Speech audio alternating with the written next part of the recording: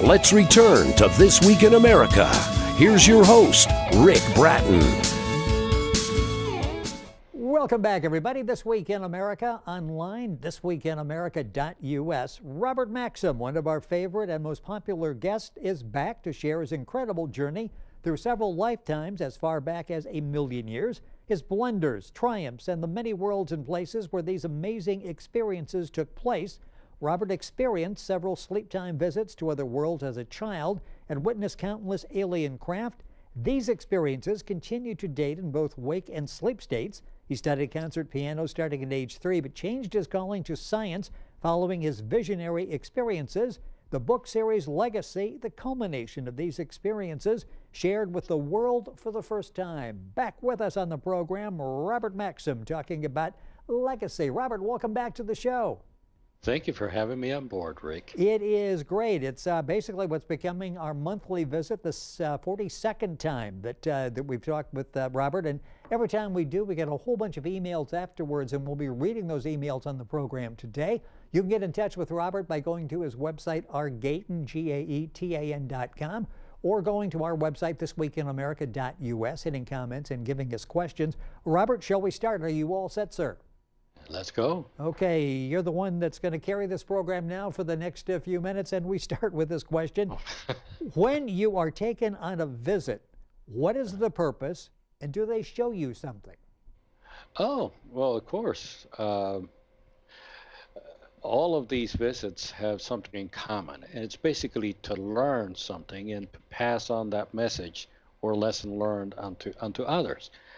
Uh, now, that lesson can be an encouragement, it could be a teaching, or it could be something that I personally have to face, uh, like a, um, a, problem with ego or something from my past that's getting in the way. So, usually, yeah, they show me something, and as part of the cure, if we can say that, it's always necessary that we not only take a look at it, but if we truly overcome it, to testify it to others, to the world, and have no qualms about doing that, nor reservation. That is a true cure. So that's the purpose behind these uh, these visitations. And like I mentioned, started at a very young age, continue now. Robert Maxxim with us on the program. Question Is heaven the ultimate goal as we are taught by religion? Uh, oh, it's I like to call it a rest area. You know, if I'm driving down I-40 and I'm, I'm tired and I see a rest area, I'm going to stop there, take a nap, rest, then I'm going to keep going. So basically, that's what uh, heaven really is. It's just a rest area in an infinite voyage where you pass from this world, you get to this rest area, you learn some more, you bring that knowledge down here to this dimension. Uh, you pass on again, you go back. So, as God is infinite, so is life. Uh, the moment that you conceive that God is um, the goal to reach, you have aimed too low. So our our goal is is to reach infinity, and thank goodness, which means that there is no end to infinity. So when we talk about heaven, that's really not, I don't get the wording right here, not a final destination, that heaven is not necessarily permanent? No, it's just a stepping point. It is, you know, a marvelous, a marvelous place indeed. There's many heavenly worlds. Um, on my website, if you take a look at the Venus video, that's a higher dimension of Venus. You go there and it's heavenly. It's beautiful. It's magnificent. Um, but hey, after a couple of million or billion years, you'll probably see a heaven above that that's even more wonderful and more beautiful than that. So as heaven progresses upwards, it gets even more and more saturated with beauty and wonder and creativity. So there's no end to it. You know, we get caught up in, in, the questions, and as I say, we get tremendous response to the questions. Everybody has questions, wants to follow through. The Legacy series will answer a lot of these questions. they will give you a whole lot to contemplate, a whole lot to kick around as you're being entertained by the Legacy series. You'll find all the books available at Robert's website, rgaetan, G-A-E-T-A-N dot com. And of course at uh, Amazon. You can link on to all those by going to our website, thisweekinamerica.us. Next question from a listener, what are the rewards for a good life? If we do it properly, life is mm. this life is over. What what happens to us? What's the reward? Oh, so many. I think that the main one is not coming back here. okay, give that Venus a shot. That sounded like uh, might not be a bad destination. Oh, you bet. Uh, now we could think it. Meanwhile, of course, we're having to come back and and improve ourselves, but mental and physical health definitely is a reward serving the elements, that's what you're going to be doing in another dimension. So you might as well start doing it here. Uh, how about being part of God's community, uh, following the universal laws, and progressing positively? So the rewards for a good life starts by following the universal laws, taking care of your mental and physical state, serving uh, the infinite, that in itself is a reward. You're building your inner self, you're building your home away from here. That is the reward. Robert Maxxim with us on the program. I mentioned the Legacy series, all the programs that we've done, but uh, the world tour continues. A couple more stops in Los Angeles, I understand, coming up in January. You've got a, a speech in January. Uh, talk about that and then uh, what a big conference coming up in Los Angeles in January as well, and at Spain in February. Yeah, well, I'll be giving a uh, uh, speaking engagement too, actually, uh, around the 26th of January in LA. Uh, there's go- it's going to be in Spanish, so bring your dictionaries. okay. then uh, the date is not yet set, but I have a call for a speaking engagement also at the Conscious Life Expo for 2019. That's going to be at the LAX Hilton. Um, I'm not sure if I'm going to get a half hour or a full hour. I'll t- take the whole day if necessary. I was going to say, good luck with a half hour or an hour. You'll need multiple hours oh, to get the oh, message I across. Know. It, I'll take whatever I can get. And then Spain is coming up February the uh, the 24th, and then Argentina it's uh, somewhere in April. You know, it's really amazing. And you've had, eh, I think after the last program, you were back and, uh, and did Vegas for, for several days in Vegas. I think that was a two day event because of the demand. You, you sold out the, the first time you were there. Are you seeing a movement, interest in what you, the message that you're talking about, more so maybe than, than any time before? Uh, indeed, I think that there's a movement to pay attention now, and not only to listen, but to to verify.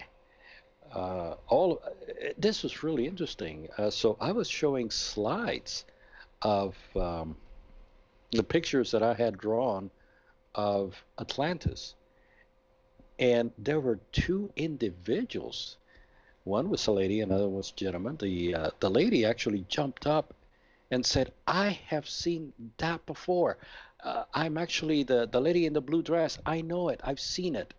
And this is the first time I see a picture of it. And then another individual, uh, I showed a different picture of uh, the uh, the Hall of Qualification in Atlantis, and he also got up and said, "That's my master, Dao One." And I mean, you have to read Legacy to know about Dao One and who he was. And he said, "He's the one on the right." And I go, you're correct. That's, How do you know? That is amazing. How do you know? That so, is amazing. Two confirmations right there. Yeah, and that couldn't just happen, right? I mean, they there had to be validity to what it was that they were saying because it wasn't common knowledge, something somebody off the street would come in and, and be able to recite. And uh, I, that just uh, that's an amazing story. So I you are making an impact, and uh, you've got more speaking engagements coming up. You'll find those at Robert's website, uh, and uh, you can link on directly by going to our website, thisweekinamerica.us. Next question. Recently, a friend who was a great guy, humanitarian, an excellent leader in our community, died of a heart attack. Why? Well, I'm sorry to hear that. Um, but in all actuality, we have to remember that the appearance of goodness is all relative, and it's, you know, no guarantee of siding with any type of progressive godliness. You, you cannot speak on behalf of anyone's life. Uh, now, as made aware to me, the mind, our hidden motives, our thoughts, and what we eat, our diet, are the reason not only for aging, but also for physical and mental health issues. Uh, if we had a bad diet, if we were sedentary, if we were reliving, for example, being shot to the heart with uh, a musket or uh, an arrow, I mean, all of those things can play a role. The problem with humanity is that, you know, and this question is exemplary of what's going on with humanity. We, we, we ask, why did this happen? But we have no idea that any of these factors can be playing a role. Why, why was I two years ago deathly ill in a bed and uh, with, with literally a broken neck? I had no idea why. And when I found out what it was, gone. So the more people that I meet, the more they realize that, or they come to understand that everything they are today, health wise, mental wise, their desires, their fears, everything, everything is a repeat of a past event. So I would not doubt it that this Good Samaritan, this individual, actually suffered this, this heart condition because of something that happened to him before and it showed up at that cyclic moment in his life. Um, now, the fact that we don't eat right uh, is also a helper because if we take care of our body, these past events, when they hit us, they would not be as unforgiving as well. So, the health message is very important here. We have a vehicle, we live in this robot hey, let's change the oil when it's proper. If we can, if we can help it, let's put in 20,000 mile uh, synthetic oil. Let's put the best oil they've got. Yep. Yep. Uh, that's how we have to treat this body. But don't stop at the body. Do the same thing with your mind, and then you'll you'll see the revelation of health. You'll see the revelation of better thinking, clarity for seeing your past, and understanding the science of life. Robert Maxxim with us on the program, author of the Legacy series. That's available, of course, at Amazon. Information on Legacy at Robert's website. Information on so much. Again, I keep saying this and I'm not exaggerating. Allow yourself plenty of time to go to his website, rgaetan, G-A-E-T-A-N dot com. He doesn't just say things, he documents things, he verifies things. He's got the truth on his website. It's, uh, it's worth the time. And once you start going there, you'll be a regular visitor. And on his website or our website, thisweekinamerica.us, you can submit a question that we'll uh, attempt to get to as quickly as possible on the program. Like this next question that came from a listener I regularly attend worship services at my church. Is that wrong? Oh. Um, well, I always say that nothing is ever wrong. Uh, I do a lot of things today that tomorrow I might look back and say, well, that was wrong. But as I live today, to me, it's right. So people will determine what's right or what's wrong relative to their actions after they themselves discover what is fitting for them. Uh, the amount of truth that they can live with, for example, and what are the selfish motives that drive this world apart into sects because believe it or not that's what the word religion amounts to. It means belief of a group. And that is the same word as a sect. So and that's that means that religion then is not universal. It's only for a few and everybody else separate. Now, I always say, be more of what you believe in, so that if you run into this into this into um, if you deep dive into your belief, you're also going to run into its problems. For example, go buy a car. You won't know its shortcomings until you get an opportunity to use that vehicle. So study, do research, use original documents, and determine for yourself what's right and what is not so. Uh, even what I say, please go verify it. So trust, but verify. Always trust, but verify. And I mentioned that that's really the way you operate the website. You're not just saying something, you say it and you back it up. If you can't back it up, you, you don't say it. It's a real simple proposition. Taking uh, listener viewer questions, and by the way, you can watch their all of these versions by going to our YouTube channel. You go to uh, thisweekinamerica.us and uh, click on videos. I assume if you go right to YouTube, you'll find the This Week in America page, and that will have all of the uh, the videos. Now, 42 videos um, uh, talking with Robert. And if you go to iTunes, Google Play, all of those, you'll find all the past programs. And again, those are all archived on our website as well. Question I believe you mentioned on the last interview I heard that you can return from heaven to the flesh. I thought heaven was the end, it was eternity.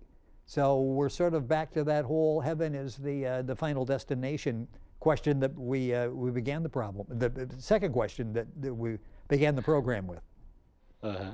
Well, see, that's what we're told. But again, what we're told is one thing, and what we have to verify is another. If we don't verify, then shame on us. Uh, as you can see from prior programs, we're not being told everything. So read originals, read about Emperor Justinian's Inquisition, study and do the research. When Jesus said palingenesia, transformation, and when he said henao anoten, return again from heaven, not born again, return again from heaven. He basically said it all. So note how badly these words and other passages have been changed or covered up. So again, if we're told something and we believe it and don't check it out, no, shame on us. We really need to get um, we need to get into the mindset that everything that we're told needs to be verified. Don't take anything from anyone, including myself. Please go check it out, and you're going to start finding these things out.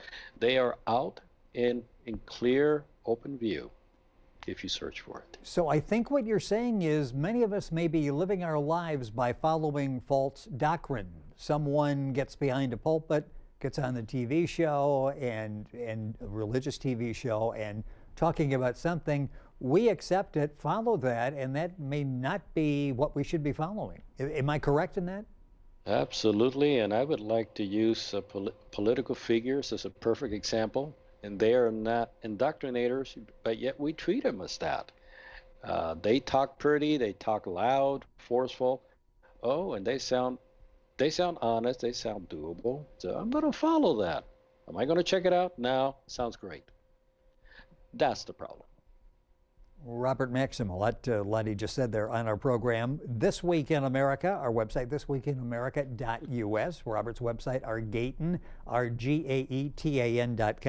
You can submit a question there, submit one on the website, and we'll get to it on probably the next uh, program. Questions like, is there an end to our lives? Is there ever a final moment where, it, okay, it's over with now, my, my soul, my spirit is over? Never. Never. Never happens. Now, you can choose it, and it takes a long time to actually destroy yourself, but uh, no, otherwise, never happens.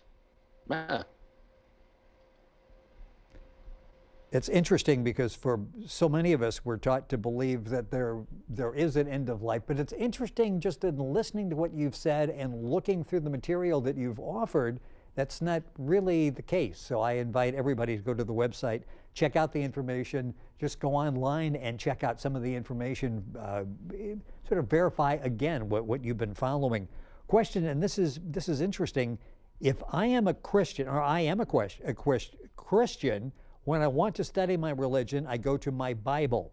If I wanted to study the principles you talk about, where do I go? Well, it's right in front of the listener. For starts, what I would advise is pick up the original Bible, not a translation that changes original meaning. Meaning, go read the articles and the documents of the founding Christian fathers. Yeah, you'll be surprised with what they say and compare what you read is like, heavens, there's no comparison here. What happened in between? This is what they said to found, uh, to establish the faith, and this is something totally different now. What happened? Find out who wrote what book you read and why. Read about how these founding fathers supported reincarnation. For example, did you know that even the Pharisees supported reincarnation? Mm-hmm. Now, legacy is packed with information and all of its countless sources, and also my website. And also Unarians United as well. That is packed with information too. But as I've said before, just be careful of the source. Always verify everything you hear and read. Verify it. And be careful with language translations. Be very careful. And also be very careful with detractors. There are a lot of individuals that write out these very beautiful renditions and websites and tell you, no, this is all wrong, this is all false. Again, go to the original, don't go to an opinion. Go to the original document. Stop reading opinions because the opinions sometimes are slanted by individuals who have been paid to make it so. How do we go about finding a Bible that we can believe in? And I say that because if you go into a lot of bookstores, you ask for a Bible, you've got all these modern translations, maybe a couple of translations, something that was just translated just a couple of weeks ago, that, that type of thing. And we tend to think a Bible is a Bible, and you're saying, whoa, that's just not true. That is right. Um, so, matter of fact, I have a writing from um, letter 24 uh, from uh, St. Jerome. And in that letter, he was asked to translate De Principiis by Origen, uh, by a fellow by the name of Rufinus. And he said, you know, for bad or for, or for good, go ahead and translate it the way it is into Latin. So he did. He translated it and gave it to Rufinus. And Rufinus was shocked. And he took that document and threw it in his door because he was afraid of what would happen if people got a hold of that. And what does De Principiis teaches? Reincarnation. Origen was a descendant of the disciple Mark, second generation. Go figure what the disciples were talking about. See, it's, it's things like this that kind of tip you off. And also um, a lot of irresponsible individuals are continuing to act like Rufinus they believe that this is bad for people and they rather cover it up, lie about it, and make you believe something that is not godly. And they think that they're acting on behalf of God. It, it's just unfathomable. But to answer the question, try reading the uh, Blue Letter Bible. It's online. Go check it out. And as you read each verse, click on the Hebrew or the Greek word, each individual word, and take a look at all of the meanings and look at the weight of the meaning. You will find that, uh, uh, especially in the New Testament, that the word chosen is very low on the totem pole. And you wonder, why was that word chosen there? It doesn't make any sense. It's not what Jesus was talking about. Why did they use that word? It's like like the word um, uh, "I am the way," for example. And the master who invited his friends and didn't go, so he told his uh, servant, uh, "Don't bother them. Don't go convert them. Don't go convert them. Just let them go. Go to the people that are on, on the highway." Well, that word highway is the word hodos. And the word hodos is used again when Jesus said, I am the way. I am the hodos. So who are the people that are in the way? The people that need help or the followers of God? Okay. There you go. So you see how something that simple changes everything. And what are we being taught from the pulpits? Garbage. Sorry to say. And there's another thing about uh, what Jesus said, I am the way, ego eimi hodos. The right translation is not ego eimi, but ahaya. And ahaya, hodos, means God is the way. Think on that one a little bit and see where you go with that. But if you go to Blue Letter Bible, you're going to learn a whole lot. And you'll be able to go up against any preacher, anyone, and put him to shame armed with the truth. So that was you just uh, that was fascinating. There, you're listening oh, to yeah. This Week in America. You'll find us online, thisweekinamerica.us. Robert Maxxim back with us on the program, talking legacy series and taking your questions. And we seem to have a lot of these uh, that, that have come in since the last program, talking about death and uh, where we go, what happens at that point. And this question is very blunt: Where do we go when we die? Well, thank goodness, nowhere here. uh, uh, we get a tax break. uh, our consciousness travels to a higher dimensional plane. Uh, some call heaven. I've had astral flights there. Uh, as a matter of fact, a Venus video will show you one of these places, as I mentioned. But as I said, it's only a rest area. It's a learning center for a return back to Earth, to another world, or even to go beyond the physical plane. So if we evolve out of this lesson school that we're in, when we reincarnate, we don't necessarily have to come back here, but we have to make sure that we leave everything squared away here that we broke, in a sense, or that we need to unlearn and relearn and, and do better. So that's where we go when we die. And um, speaking speaking of Venus, um, it is just one of many such heavenly worlds. Uh, the cosmos is filled with them. And just as we see physical worlds in our midst, consider that every world out there that you see is physical, even stars, they have a spiritual counterpart because that's where they come from. And you ought to see what they look like. It's phenomenal. Next question, and this is interesting because you hear this thrown around a lot. When evil is done, you are blaming Satan. And the question, again, a very simple one is there a Satan a source of evil? Well, I'll tell you what, when I was a little kid and sometimes I got mad about something, I would blame the other kid, you know. Yes. Uh, and we grew up with that, you know. So now we're not blaming the little kid, we're blaming Satan. But it's the same thing uh,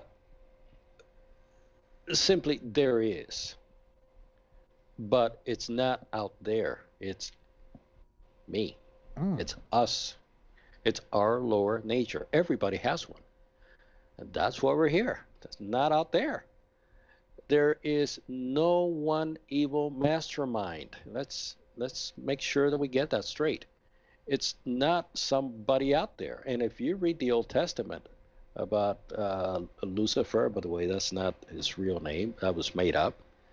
Uh, or, um, you know, the Satan character. If you really read what it means, it means deceiver. So who is the deceiver? Me. That's us. Now, that said, I have to clarify that there are negative astral disembodied souls and entities out there and they don't have your best interest in mind. So, um, just like there are um, individuals that don't have your best interest at heart that you know in the physical, the same is up in the spiritual worlds. So, it's something to keep in mind because some of us, when we do the crossing, we could bump into those astral forces and uh, you know we don't want to go with them. We want to we want to go with the light and uh, whatever they promise no. You have to say no don't get stuck with them so i just had to throw that in there so it's not an individual it's just evolutionary souls like us that they have lost their way and they don't act in the best interest of creation they want to destroy it. They want it for themselves. And that's why they are negative. So when somebody has a bad thought, when they are tempted and they're saying, Satan is, is trying to get me to do this, trying to throw me off course, that basically is your own thoughts that are trying to throw you off course. Indeed. It's just no sense of responsibility when people do that. We have to own up to what we feel and what we do. It's our responsibility. And even if some astral force pinches us to make us mad or to make us desire this, you know, it's eventually your and my responsibility to say no. So why are we so weak and incompetent that we can't say no? It's not hard to say no. just keep the universal laws in mind. Keep the teachings of Jesus in your heart. And there's absolutely nothing you cannot overcome. Well said. Robert Maxxim, our guest on This Week in America, taking your questions. Next question Has the government ever attempted to silence you? Oh yeah, more than oh once. yeah, that was that, oh. was that was a quick response and uh, an affirmative response. You know, at one time I was even denied entrance back into Jet Propulsion Laboratory after they found out I was gathering information on photo smudging techniques, photo smudging and altering techniques out there. So uh, yeah, I've had my, I've had my fill. Uh, I've had individuals trying to detract what I say. Uh, it's all part of the negative Malthusian planet that we live in. And it's not just the government. It's the government is actually run by other forces that most people don't know about and they are the ones that are sending out their government little minions out there to do their dirty work for them. So we blame it on the government, folks. Uh-uh. Okay, go now up. you just it's higher. You just let that there. Okay, can you go any further on that? Talk about the government. Who who actually is the government? Should we be concerned of the government? I think I just opened up the can of worms. I think that you you have, and they may come pound on your door during the course of the night. So if you want to go on to the next question, we can do that. But you've let that uh, lay out there. It's like, okay, I need to pursue this and find out exactly what you're talking about. Uh, let's just consider that what is shown to us up front is not necessarily uh, the true government. Uh, yes, we elect our leaders, but we're all electing them under a specific condition that we ourselves don't even understand. A lot of a lot of the, a lot of what controls this world, believe it or not, goes right back into astral spiritual planes. Now you would think, well, how can supposed that dead people be controlling people? Well, I just I just explained a minute ago how it works. Yes. So that is affecting people here that affect the government. I mean, it's uh, you've heard of Illuminati. Illuminati is nothing by comparison to the huge mafia. excuse me. That is controlling every movement of this planet. If you read Legacy, you're going to find out about it. It's described there in detail. Uh, again, Illuminati is just a very small corner of of these uh, of these forces. So uh, there are thousands of organizations that all work together to try to make this world what it is. So, another reason why we want to get out of here. And another reason why you should be reading Legacy, which is available at uh, Amazon.com, also at Robert's website, rgaetan, G-A-E-T-A-N.com. It's entertaining and it's uh, enlightening as well, the Legacy series. Question, and again, we're back to this heaven thing that we, we actually started the program talking about. Is it possible heaven is basically an advanced planet? Possibly some of the alien visitors are actually from heaven. Is that far fetched or possible? Wow. Yeah. This this listener is, he's really tuned in. Yes. My goodness. Yeah, I like that. He, he answered it. Yes. Now, advanced spiritual planets, plural, yes, and yes. Ascended beings do pay us visits. Now, we mistake them sometimes for angels, but you won't find them in spacecraft necessarily because they don't really need them. Let me take the listener one step further. What if you have somebody like Nikola Tesla being a host for one of these beings? What about someone who is channeling information from one of these higher beings? They don't necessarily have to be here. They can host someone, they can speak to someone. Uh, and I'm going to throw something out there. Remember when Jesus said, It is not I, but the Father within that does all things. Think on that carefully. Buzz on it. Read it in Greek, in Greek carefully and understand what he was saying. I'll leave that as homework. Well, I've got a lot of homework here, taking notes because there's so many things you need to uh, to look into after this. You just left us with a uh, a whole lot, so I'll let that sink in as we go on to the next question. I keep hearing the saying, "You only live once." Do you believe that to be true? Absolutely not. I mean, there are a lot of things that I live right now that I don't want to live again. Uh, I want to progress and leave my old ways behind. but no, absolutely not. Uh, and I have biblical and scientific evidence to prove that you live more than once. And it's on website Science tab. It's also in Legacy. The amount of evidence is just just um, it's just massive. If they mean that not necessarily in the literal sense, where you only live once, so go ahead and do it, but you sort of use that as an excuse. I've wanted to do that, never done it, but I really need to do that. And maybe it's you only live once in this particular life. Is that is that sometimes used in that uh, that context where it's sort of an excuse to do something you wouldn't normally do? What did the snake tell the woman in in the Garden of Eden? If you eat the fruit, you're not going to die. So, going to live once, go do it, right? Yes. Same thing. Yes. Yes. It's the same lie. So, uh, again, just because somebody says it, don't trust it. Go verify. Hope we answered your question. Robert Maxxim answering questions on This Week is in America, the website thisweekinamerica.us. Comment section there, you can ask your question that we'll relay to Robert on the next program. Go right to the source, go right to uh, Robert's website, rgaetan, G-A-E-T-A-N dot com, and uh, you can leave a question for Robert there. I was watching a TV show on Destination America dealing with ghosts and hauntings.